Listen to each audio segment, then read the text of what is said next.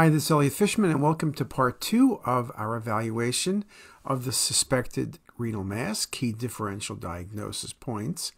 And I mentioned last time that the key, of course, is the timing of the acquisition, depending whether you're looking at arterial phase or nephrographic or venous phase or excretory phase, a renal mass is going to look different. The vascular lesions will be very bright on the cortical medullary or arterial phase, but they'll all be relatively hypodense on the excretory phase.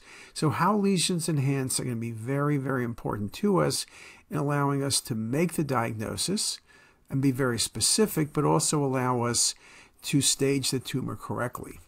If I think about the cortical medullary phase, it's about 30 seconds after injection of contrast. We like to inject at 5 cc's a second, 100 to 120 cc's of contrast. It's the time when the cortex is maximally enhanced, reaching about 150 Hounsfield units, and the medullary enhancement is low, under 60 Hounsfield units. So the cortex medullary differentiation is really well seen. It's optimal for evaluating arterial structures, optimal for preoperative planning for nephron sparing surgery. It defines the tumor vascularity and, in many cases, therefore, defines the specific etiology of the tumor. It's excellent for detecting changes, even subtle ones, in perfusion. And some tumors will only be seen in arterial phase. So it's excellent at tumor detection. It probably is not the optimal phase if you were looking for pyelonephritis. There, a later phase, particularly excretory phase or late venous phase, is better, but it's still usually accurate. Here's just examples taking a look at that cortical medullary phase with both volume rendering and MIP imaging. The MIP being a projection technique showing you the vessels, the volume rendering showing you the cortical medullary interface a whole lot better. You can see also an example of a renal cell, clear cell renal cell carcinoma, both on the volume rendering and the MIP. MIP often is good for picking up small AVMs within a lesion. It's also good at looking at angiomyolipomas for tiny aneurysms, but you can see all of that with volume rendering, but volume rendering gives you a far better 3D visualization. This is going back a bit, but this article has held true over time. Clear cell renal cell carcinoma, the mean attenuation value is 152, and in papillary, it's 61. So you can see there's a big spread between 152 and 61. And so what most people will say, and it works out very nicely, if a lesion measures under 100 Hounsfield units max, it's likely a papillary, and it's over 100, it's likely a clear cell, and you'll be probably 95% accurate. Here's a non-contrast scan, solid right renal mass, faint calcification. This lesion, which measures 5 centimeters, is markedly vascular.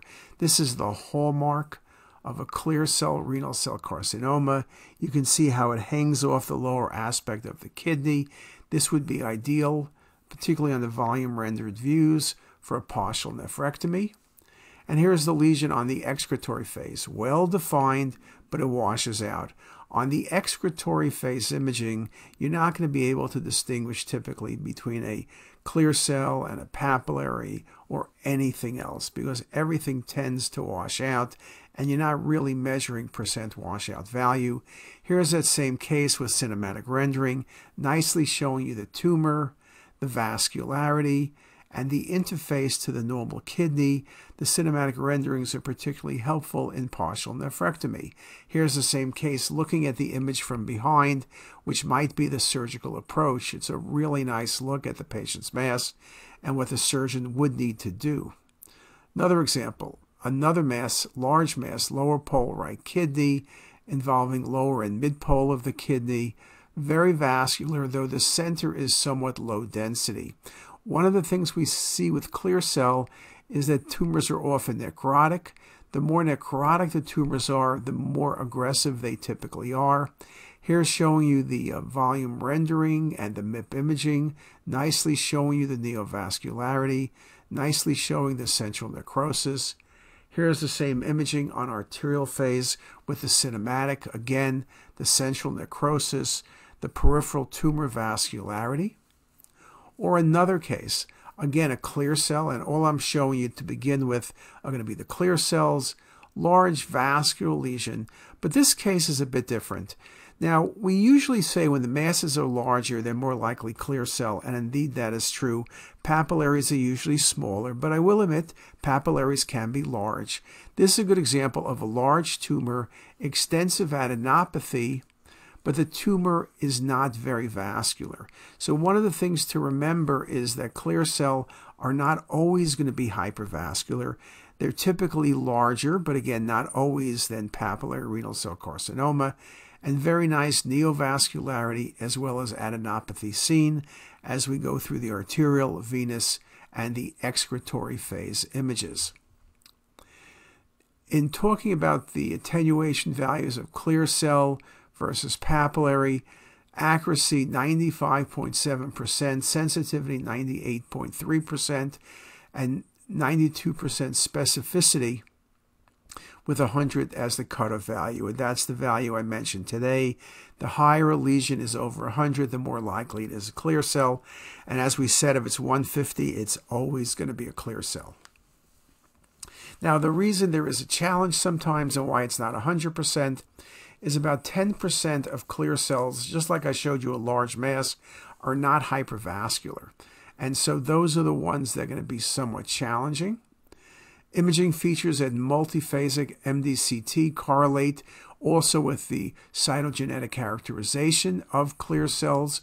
And so this may affect patient prognosis and help predict responses to molecular targeted therapies. A lot of work is going on using things like radiomics, using AI to try to predict responsive therapy based on the enhancement because the enhancement correlates very well with the genetic makeup of the tumors. A comment at the end histologically defined tumor necrosis is integrated into prognostic scoring systems such as the stage, size, grade, and necrosis score. Here's a good example of a large vascular right renal mass with central necrosis. There's some perirenal spread and adenopathy also seen. The MIP imaging nicely shows the neovascularity present. But again, the central necrosis becomes very important.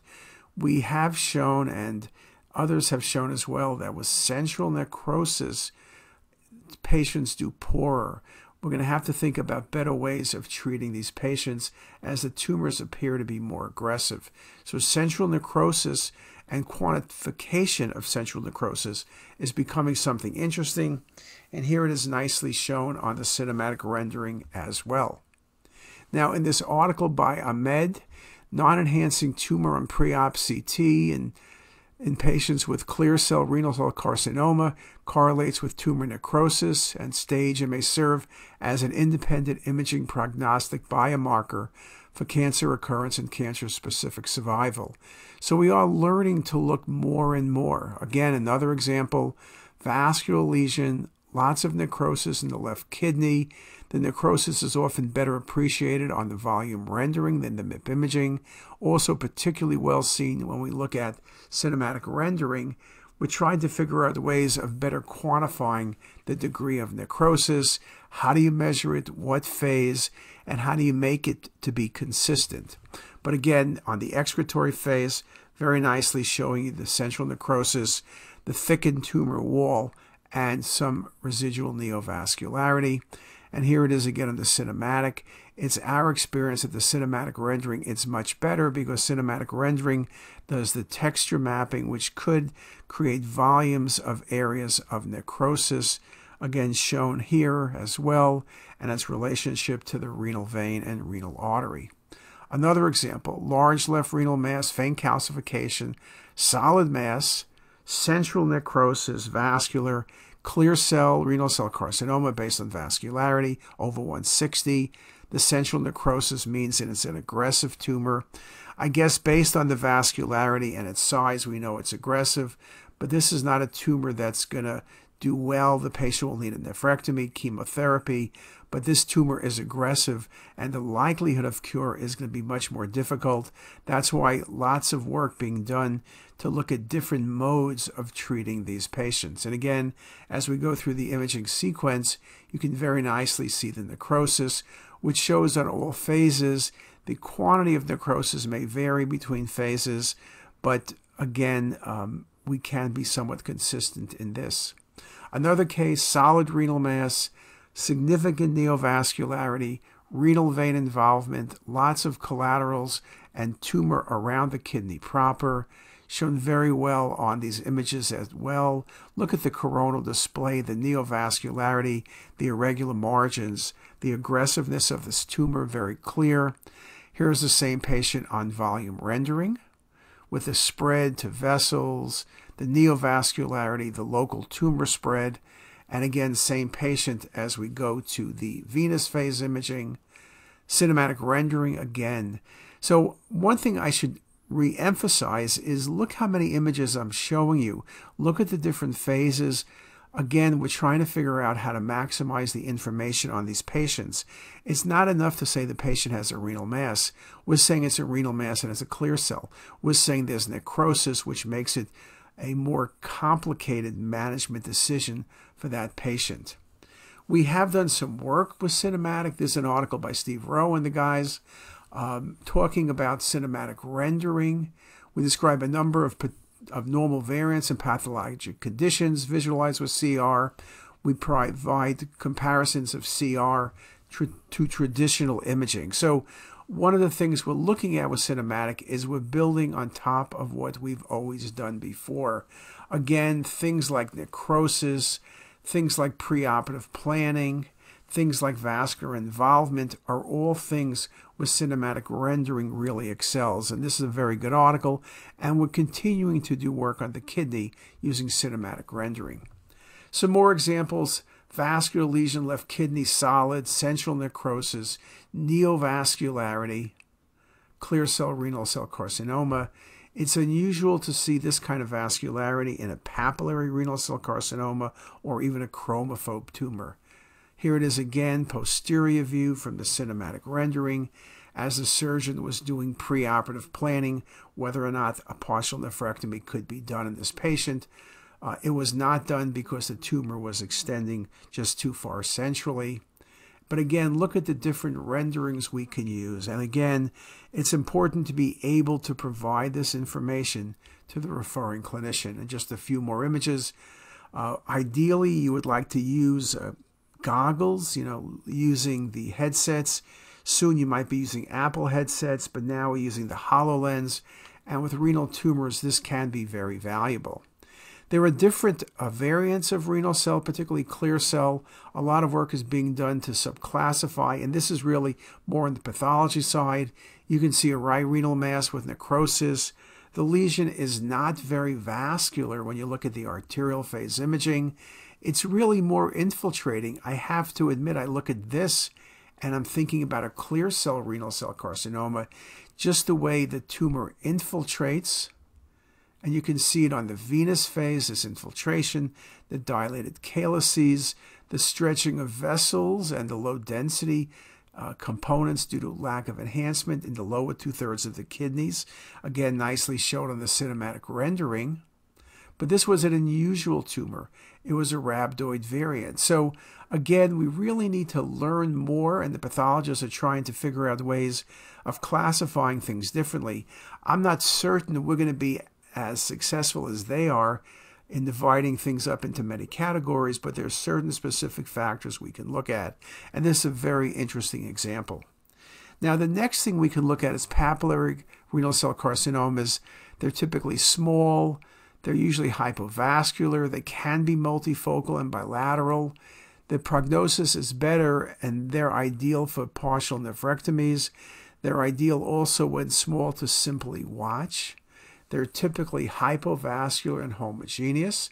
And uh, this article, going way back with Brian Herts, makes the point nicely. And again, typically average attenuation, no more than in the mid 60 Hounsfield units. And the rule again is under 100 or even under 90, it's a papillary RCC. Here's a solid mass. Now, I mentioned papillaries are often small, but not necessarily, but this lesion is homogeneous with really no vascularity present to any degree. It is enhancing, but enhancing no more than 70 or 80 Hounsfield units. And here it is on the excretory phase image as well. And here it is nicely shown with the cinematic rendering. Now, the next thing we'll look at in terms of the kidneys will be the parenchymal and nephrographic phase. I've showed you some cases of nephrographic phase as we were going through the images. It's the phase where you can see the renal veins very nicely. It's an ideal phase for looking at vascular involvement when you're staging tumors. It's a good phase for looking at infection, and it does provide things a bit different than the arterial or corticomedullary phase does. But let's do this. Let's stop here and let's come back in a few minutes and take a look at the parenchymal and nephrographic phase as well as the excretory phase. And then look, let's look at some more tumors. See you back in a few minutes. If you like this video, make sure to subscribe to the CTisus YouTube channel. You can also visit us at ctisus.com for even more videos, plus quizzes, pearls, protocols, and oh so much more. We're also in the App Store and have well over a dozen apps for iPhone and iPad, all completely free. Thanks for watching.